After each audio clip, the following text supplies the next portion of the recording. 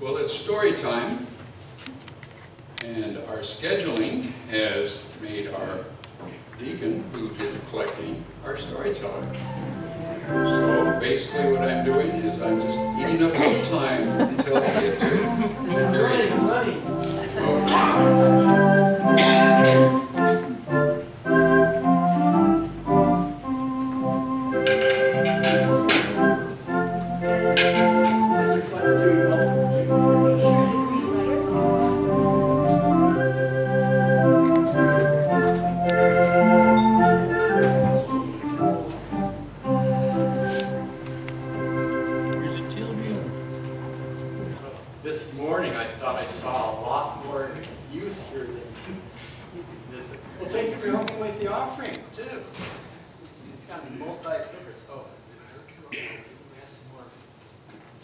coming.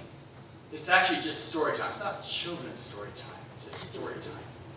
But, uh, anyway, you know what? I got something back in my pew here. Let me get it real quick.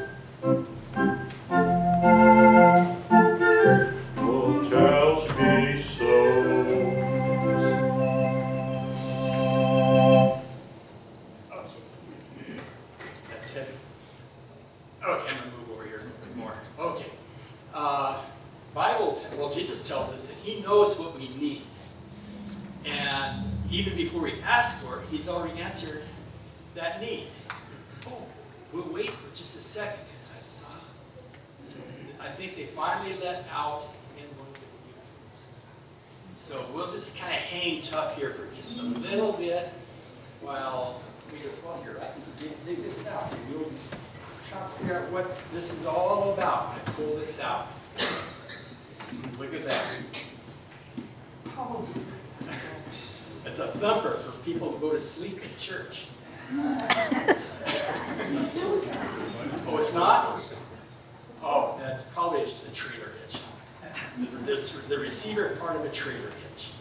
Well, I'll set it right over here. I- I show you what it is, and then we'll get back into it. Are we loud enough here? I'll get a little closer, maybe. Okay, so, uh, I, I said that, uh, before we even know what we need, or ask for it, Jesus knows what we need. He's already answered a question. Well, what I needed was that I have a trailer and I needed something bigger to tow it with. And so I thought I might buy a pickup. And so I looked around, and pickups are kind of expensive right now for some reason or another. But I finally found one, and it was, and I looked at it, there's a few things wrong with it. It had a little vibration, I thought was maybe the tire. It was, when you drove down the road, it's kind of it bounces a little bit, the door was kind of goofy. But over, overall, it was a pretty good little truck, and so I, I bought it. On the way home, I realized that now the vibration wasn't the tire, it was something, you know, my driveline transmission, something. I go, oh no, what I buy? And I get home and I'm looking and I, and I grab, well, this isn't the one. This isn't the trailer hitch for my trailer. This is actually uh, the one that I slide into my into my car, but had a big one for the pickup that big old drop receiver hitch, it just slides in. It wouldn't slide in into the little square uh, receiver. It wouldn't slide in. I go, oh man, I look in there, and that part of the hitch was rusted into the into the receiver. It's, and it was clogged and rusty, so I took a big hammer and chisel and beat the thing out. I finally got it out, and I sanded it all down. And the receiver part that that goes into on the trailer hitch was rusty, bad rust. In fact, the, this custom-made, extra heavy-duty trailer hitch that I thought was really good was bad and couldn't even be couldn't even be fixed. It was so rusty inside. You could actually see light through it when I finally got the parts out. You could see light through this trailer hitch. I needed another one. So I went to the wrecking yard, well, not wrecking yards, a recycling yard for automobiles. And I went there and I'm looking around. They gave me a list of pickups that might fit. And I found one that was almost new and I took it out, no rust on it, took it home and tried to put it up there. It didn't fit. I go, man, you know, the, the part that it bolted to the frame, it was supposed to bolt to the frame, but it wouldn't go there because the part that went to the bumper, just held it out of alignment. So I had to go back to the wrecking yard. And I'm going, oh man, so I find another one. This one had some rust on it, but it was looking pretty good. I, but it didn't even have the part for the bumper. But while I was looking through, trying to find the right trailer hitch on all these trucks they gave me this list on, I found something.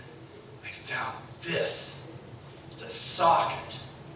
And I go, wow, thank you, Lord. Thank you, Jesus, for giving me this present. You know, it didn't really pay for the 26 miles I had to drive to get the second trailer hitch, but that's pretty cool. No size on it, didn't know what size it was. I had to drop it in my little tool tray. And went on about my business, got the trailers, went back, and oh, I planned ahead because I was going to get another drive line, because that's what I found out my truck needed of it. Couldn't find one, so I put the trailer hitch on and it fit, amazingly enough. Took the old drive line out, that's the part that goes between the transmission and the rear end. It's a- just a round shaft that spins really fast. And I got that, and I took the old one up to the wrecking yard, and looking around, and almost all of them were either missing or bent. Couldn't believe it. I finally found one sliding under all these trucks and stuff to kind of do that. And I found one, and I, and so I, and I take the other one out, so I knew exactly the tools it took to get it out. And I put those in my hand, I slid under the truck, and I took the back of the drive shaft off, and then I wormed my way up to the middle to get the center part out. It was different. The size, the the bolt sizes were different. I go, what a man. I said, what in the world was this wrong with this thing? And I, up there, so I, I kind of drug my, kind of, well, I hooked it with my toe or my foot and kind of drug that my little tool tray in there. I Tried the other wrenches I had, wouldn't fit. I tried the, the crescent wrench, I figured like this, but it was way too tight. Tried the vice grips, and pliers, nothing worked. And I'm going, I'm gonna have to drive 26 miles back home, get the proper tool, come back and do this thing. And I go, ah, like this, and then, I in fact, I slid out from the truck, and I looked at my tray, and what did I find? I found this socket. And I go, man, I still didn't know what size it was. And uh, I go, wow. So I go, well, it's worth a try. Slid back under the truck, put the thing on, dropped it over the nut. It fit. It was the perfect size. Somewhere or another, God knew that I was going to need a 15 millimeter deep well 3 8 drive socket. I don't know how he figured it out, but he knew and he gave it to me free two days before I needed it. And I'm going, wow, thank you, Lord. Yeah, I mean, I could have gone back and got, got one. I, I probably had one. I had some tools stolen, so I, but I still think I might have had one of these. Because you never need a 15 millimeter deep well socket because it's a size that's almost never used.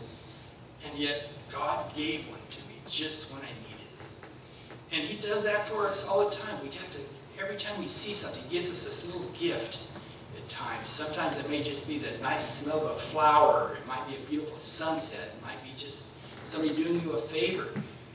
You know, and if you just say, thank you, Jesus, for that little gift. And, and remember to do that. Remember to thank Him for everything that He's done for you. And even thanking when He finds you or you find a, a socket laying in the dirt on your car. So remember that. Okay, this is our heads. Dear Jesus, thank you for the, all these little blessings you give us each and every day so that we may remember that you are the creator, you are a redeemer, but you love us and you like to just shower us with your blessings every day. For Jesus' sake, amen. I ask the congregation to open up your hymnal to number 512. We're going to sing one verse. 512.